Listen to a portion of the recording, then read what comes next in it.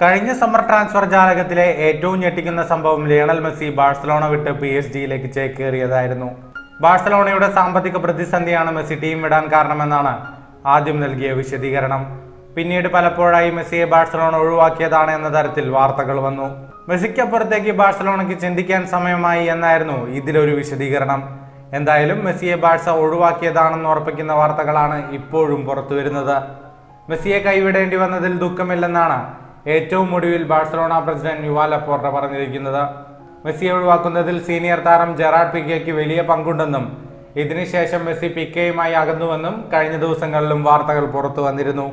മെസ്സിയെ നിലനിർത്താൻ പണമില്ലെന്ന് പറഞ്ഞവർ എങ്ങനെയാണ് ഫെറാൻഡോറസിനെ വലിയ തുകയ്ക്ക് സ്വന്തമാക്കിയതെന്ന് പുറത്താക്കപ്പെട്ട കോച്ച് റൊണാൾഡ് കൂമാനും ചോദിച്ചിരുന്നു. ഇതിന് പിന്നാലെയാണ് ഇപ്പോൾ ലപ്പോർട്ടയുടെ പുതിയ വെളിപ്പെടുത്തൽ. ലപ്പോർട്ടയുടെ വാക്കുകൾ ഇങ്ങനെയാണ്. ബാഴ്സലോണ പ്രസിഡന്റ് എന്ന നിലയിൽ ഞാൻ എടുത്ത ഏറ്റവും വേദനിപ്പിക്കുന്ന തീരുമാനമാണ് മെസ്സിയെ കൈവിട്ടത്. ഒരിക്കലും ഞാൻ മെസ്സി ടീം വിടണമെന്ന് ആഗ്രഹിച്ചിരുന്നില്ല. പക്ഷേ ഇക്കാര്യത്തിൽ ഞാൻ ക്ഷമ ചോദിക്കുകയോ ഖേദം പ്രകടിപ്പിക്കുകയോ ചെയ്യില്ല. കാരണം എല്ലാത്തിനും മുകളിൽ ഞങ്ങൾ ക്ലബിനെയാണ് പരിഗണിക്കുന്നത്.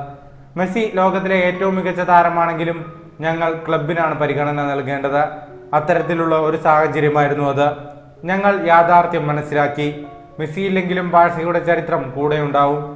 നല്ല തീരുമാനങ്ങളും നല്ല പ്രവർത്തനങ്ങളും കാഴ്ചവെച്ച് വിജയപാതയിലേക്ക് തിരിച്ചെത്തുകയാണ് വേണ്ടത്. അതാണ് ഞങ്ങളിപ്പോൾ ചെയ്യുന്നതെന്നും ബാഴ്സ ടി വിയോട് സംസാരിക്കവേ ലെപ്പോർട്ട പറഞ്ഞു. മെസ്സി പോയതിനു ശേഷം വൻ തിരിച്ചടി നേരിട്ട ബാഴ്സലോണ പുതിയ കോച്ച് സാവിക്ക് കീഴിൽ പടിപടിയായി മുന്നോട്ട് വരികയാണ്. ലാലിഗയിൽ മൂന്നാം സ്ഥാനത്തെത്താൻ ബാഴ്സയ്ക്ക് കഴിഞ്ഞിട്ടുണ്ട്. ഫുട്ബോൾ ലോകത്തെ കൂടുതൽ വാർത്തകൾക്കും വിശേഷങ്ങൾക്കുമായി സ്പോർട്സ് കഫേ ഇപ്പോൾ തന്നെ സബ്സ്ക്രൈബ് ചെയ്യുക.